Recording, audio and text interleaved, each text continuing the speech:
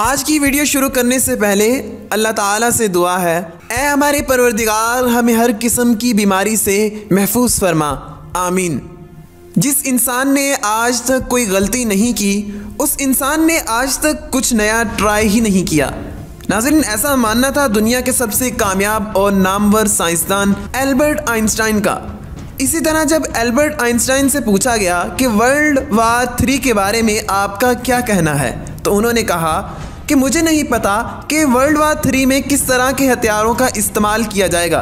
लेकिन एक बात मैं ज़रूर कह सकता हूँ कि अगर वर्ल्ड वार थ्री के बाद वर्ल्ड वार फोर होती है तो उसमें सिर्फ़ लकड़ी और पत्थर ही हमारा हथियार होंगे। नाजरीन, आइंस्टाइन की इस बात से ये साबित होता है कि वर्ल्ड वार थ्री पूरी इंसानियत का और पूरी सिविलाइजेशन का खात्मा कर देगी।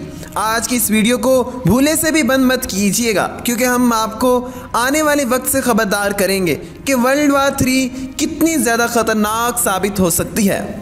नाजरीन, हम जानते हैं कि इंसानी तारीख में बहुत सी जंगें लड़ी गई हैं, जिसमें इंसानों का कत्ल आम इस तरह से हुआ है कि आसमान और ज़मीन के दरमियान जंग के बादल इस कदर तेज़ी से बरसे थे कि हर तरफ़ लाशों का मैदान था।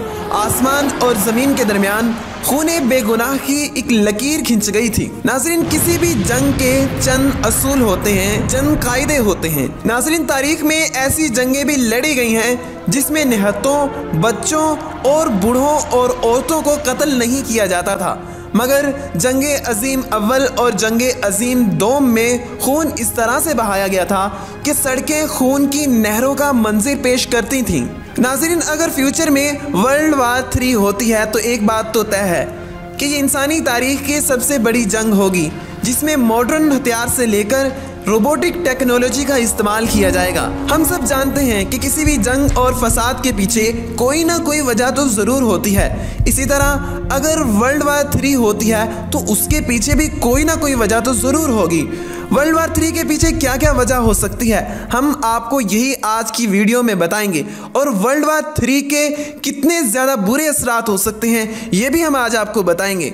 वर्ल्ड वार थ्री को लेकर तरह तरह की प्रिसेप्शन दी गई हैं, मगर उसमें से कोई भी मुमकिन नहीं हो पाई। नाजरीन, सबसे पहले 1960 में रशिया और अमेरिका के दरमियान होने वाली कोल्ड वार में ये प्रिसेप्शन दी गई थी कि वर्ल्ड वार थ्री अनकरीब होने जा रही है। और अगर 1960 से लेकर अब तक देखा जाए तो उस वक्त बहुत ज़्यादा चांसेस थे कि वर्ल्ड वार थ्री हो जाएगी। लेकिन हर बार किस्मत हमारे पर मेहरबान होगी, अब ऐसा भी नहीं है। किसी भी वर्ल्ड वार की होने के लिए कोई भी पॉलिटिकल मर्डर इंटेलिजेंस थ्रेड या फिर किसी भी कीमती चीज़ को हासिल करने के लिए जंग शुरू हो सकती है। सुनकर तो ऐसा लगता है कि जैसे वर्ल्ड वार होने के चांसेस बहुत ज़्यादा हैं, क्योंकि मौजूदा दौर के हालात आपके सामने ही हैं। जो कुछ ईरान के साथ हुआ, जो आज पूरी दुनिया में हो रहा है। तो नाजरीन, अगर मैं आपको बताऊँ कि इस वक्त किसी भी कीमती से कीमती चीज़ से ज़्यादा अहम और वैल्यूएबल चीज़ क्या है तो वो सिर्फ़ और सिर्फ़ कोरोना वायरस की वैक्सीन या फिर मेडिसिन है? नाजिन कोई भी मुल्क कोरोना वायरस की वैक्सीन को खरीदने के लिए, पैसा पानी की तरह बहाने के लिए तैयार है। आपको क्या लगता है, वर्ल्ड वार थ्री के होने के चांसेस कितने हैं? हमें कमेंट में लाजमी बताइएगा। 1945 में ख़त्म होने वाली जंग की नस्बत अगर हम आज की बात करें तो पहले से काफ़ी कुछ बदल चुका है। और आज के सोल्जर्स, उस वक़्त के सोल्जर से कई गुना ताकतवर हैं और बहुत ज़्यादा स्किलफुल भी हैं। कोरोना वायरस जैसे बायोलॉजिकल वेपन से लेकर न्यूक्लियर वेपन की ताकत कई गुना बढ़ चुकी है। नाजरीन, इससे ये बात साबित होती है कि वर्ल्ड वार थ्री के बाद हम पुराने ज़माने में लौट जाएँगे। जिस तरह वर्ल्ड वार टू में जंग, ज़मीन, हवा और पानी पर हुई थी, इसी तरह वर्ल्ड वार थ्री के होने की ज़्यादा पॉसिबिलिटी स्पेस में है। और इस केस में जिस मुल्क का सेल्फ डिफेंस सिस्टम ज़्यादा एडवांस हुआ, वो मुल्क उतना ही सिक्योर रहेगा। इन हथियारों के बारे में सुनकर ही ऐसा लगता है कि कोई हॉलीवुड की फ़िल्म चल रही है। मगर इस किस्म के हथियारों को यूज़ करने की नौबत नहीं आएगी।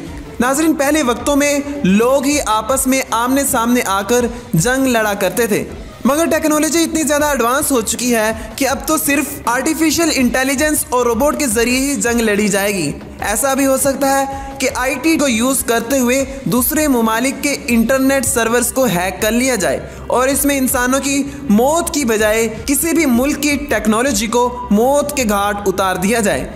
जैसा कि किसी भी मुल्क के इलेक्ट्रिक पावर स्टेशन को रोक देना वर्ल्ड वार थ्री में कुछ इस किस्म के टॉर्चर्स भी हो सकते हैं। पानी, नाम सुनते ही हमें ज़्यादा फ़र्क नहीं पड़ता। मगर अगर मैं बात करूँ पीने वाला पानी तो आप सोचेंगे, वो तो हमें वाफर मकदार में मिल ही रहा है, और हम पानी का बेदरेग इस्तेमाल सरे आम कर रहे हैं। मगर आपको बता दें कि वर्ल्ड वार थ्री में सबसे ज़्यादा खतरा अगर किसी चीज़ को है तो वो पीने वाले पानी को है।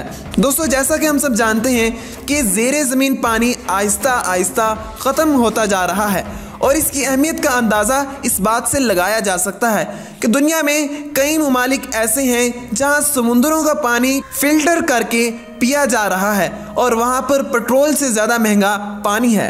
अलगर्ज पीने वाले पानी में काफ़ी कमी होती जा रही है और आने वाले कल में वो वैल्यूएबल चीज़ जिसका मैंने पीछे ज़िक्र किया है कि जिसकी वजह से वर्ल्ड वार हो सकती है चांसेस हैं कि वो वैल्यूएबल चीज़ पानी ही हो। नाजरीन, साठ साल से ज़्यादा का अरसा हो चुका है, मगर कोई भी वर्ल्ड वार नहीं हुई। इसकी एक वजह न्यूक्लियर बॉम्ब भी है। वर्ल्ड वार में जब अमेरिका ने जापान के दो मुल्कों पर अपना न्यूक्लियर बम गिराया था तो इतनी तबाही हुई थी कि अब भी जापान उस मुश्किल से दो चार है। और लाखों लोगों की जानें भी चली गई थी। अगर उस वक़्त के उन दो न्यूक्लियर बॉम्ब्स को आज के न्यूक्लियर बॉम्ब्स के साथ कंपेयर किया जाए तो वो दोनों ही बहुत मामूली और कमज़ोर नज़र आते हैं। आपको बता दूँ, अब तक 1400 से ज़्यादा न्यूक्लियर बॉम्ब बनाए जा चुके हैं और इनमें से ज़्यादातर चाइना, रशिया और अमेरिका के पास हैं। तो नाजरीन, अगर बात की जाए कि वर्ल्ड वार टू में कितने न्यूक्लियर बम थे और दुनिया में ज़्यादा तबाही क्यों नहीं मची तो आपको बताता चलूँ कि पूरी दुनिया के पास 70 से भी कम न्यूक्लियर बम मौजूद थे। तो अब आप खुद ही अंदाज़ा लगा सकते हैं कि अगर कोई भी मुल्क न्यूक्लियर वार शुरू करता है और दूसरे मुल्क पर अटैक करता है तो वो मुल्क भी जवाबी हमला तो ज़रूर करेगा। और आपको बताता चलूँ कि पूरी दुनिया को ख़त्म करने के लिए चंद हाइड्रोजन बम ही काफ़ी हैं। मगर जैसा कि हमने आपको पहले बताया है कि वर्ल्ड वार की होने के चांसेस बहुत ही कम हैं। नाजरीन, अगर वर्ल्ड वार होती भी है तो पूरी दुनिया की इकॉनमी और और सारा का सारा इन्वायरमेंट मुकम्मल तौर पर तबाह हो जाएगा। तो आज के लिए बस इतना ही। अगर आप चाहते हैं कि हम वर्ल्ड वार टू में होने वाली तबाही पर भी एक वीडियो बनाएँ तो इस वीडियो को लाइक करने के बाद हमें कमेंट में लाजमी बताइएगा। मिलते हैं अगली किसी ऐसी अच्छी सी वीडियो में। अपना बहुत बहुत ख्याल रखिएगा। अल्लाह निगेबान।